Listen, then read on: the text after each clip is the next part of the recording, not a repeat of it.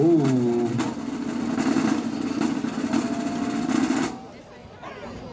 It's the percussion round.